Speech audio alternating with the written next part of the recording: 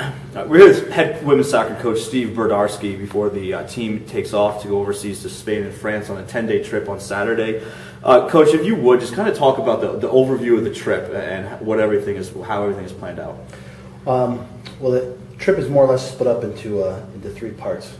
So we uh, we arrive in Barcelona, Spain, which uh, which will be there for, for four days. Um, then we'll travel north up into France, where we'll be in Montpellier for, for three days and then Lyon for three days. So um, six days in France, five days uh, more or less in, in, in, Spain. So two countries, uh, three soccer soccer cities. You know, and uh, you know the first part, of course, is as soon as we get there, we arrive and uh, you know get a day uh, to more or less relax, and then we get to go see uh, our first professional game where, we'll get to see Barcelona, which is the you know, Spanish league champions this year. Um, so we'll get to see them and imagine it'll be 100,000 people, including us, in that stadium. And I think uh, for our girls, that'll be a, a first-time experience. Then uh, after the game, the next two following days, we'll actually play play our first two games. So we have back-to-back games. Uh, the first one against Barcelona's women's team, which also they're, they're the, uh, the La Liga champions this year. So that'll be a tough test for us. And then the following day, we play uh, their rival Espanyol, which uh, which finished fifth in the professional league over there. So first five days, it's a lot of soccer. You know, Barcelona is a soccer city. Uh, you know, I think the girls are, are, really fortunate to be able uh, to start there. And then, uh, and then when we travel up north, um, we still have one more game. We'll play Saint Etienne. They have a U19 team that we'll be playing against.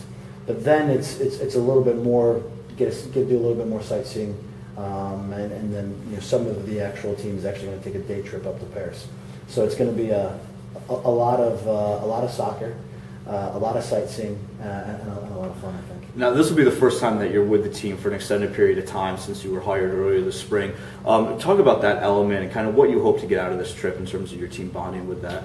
Well, you know, and, and I'm, I'm, not I'm not trying to be too uh, too sarcastic or too joking here, but you know they've been gone for a week, and I miss them already. You know, we we spent a lot of time these uh, these past three months getting to know each other um, on and off the field, uh, finding out different parts um, becoming closer as a group, but also in, in, terms of individual relationship with, with myself and, and, a lot of the players. So I'm looking forward to the trip because I'm going to see him again. You know, we, uh, we said goodbye uh, uh, right after graduation here, and then it was like, yeah, I'll see you in five or six days.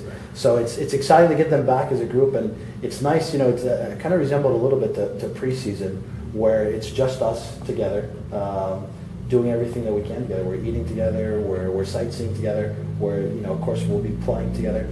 Um, so there's a lot of different team aspects, you know, the chemistry part to it that we need to develop up. And, and when I came in, one of the things that you know, we divided up the season already, and you know, our spring season was phase one, and this is this is phase two. Like this is a big trip for us. These next these next ten days are going to propel us into our fall preseason and into our fall season. So we need to get a lot out of it. We need to become closer as a group and a unit.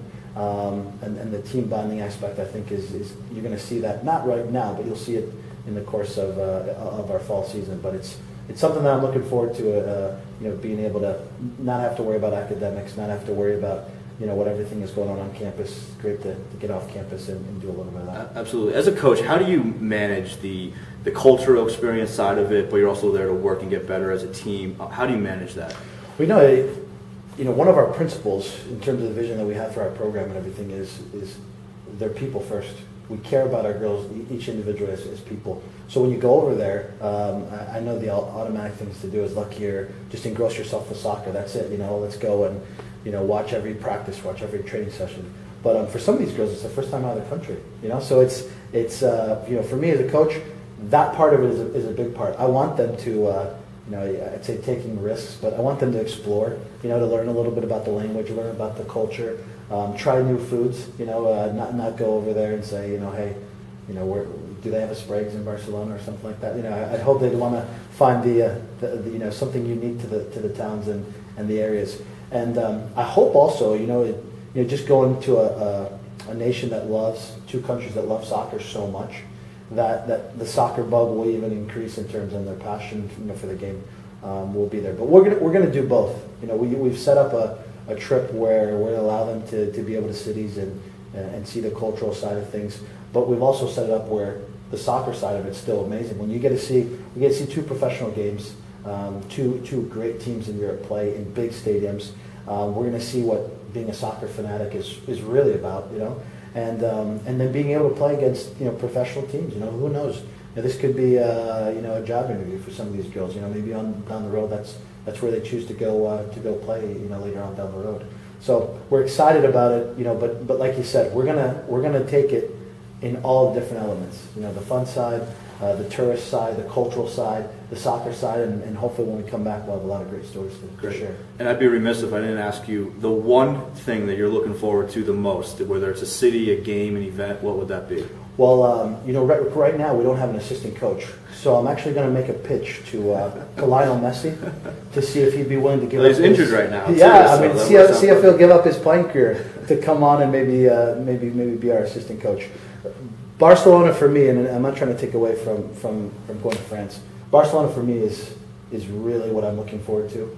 I'm looking to looking forward to seeing their um, their development academy, La Masia, um, and I'm meeting hopefully some of their coaches and spending a little bit of time on, on seeing because the last five five years you've heard all these different ideas come out and come out of that area. You know, this is what they're doing, this is what they're doing. But I like to see what cutting edge things that they, they might have. And um, you know, they, they start their players from, from as young as nine and ten years old, um, and, and housing them in, in this academy. So I'd like to be able to see that side of it, and you know, again, if we could meet a couple players or two, that'd be pretty exciting too. You know. Absolutely great. Well, thank you very much, Coach. Best of luck. Enjoy the 10 day trip. And uh, for you out there, if you want to follow all the action on Twitter, Bonnie's W Soccer, and also on GoBonnies.com. Thanks a lot, Coach. Go Bonnies.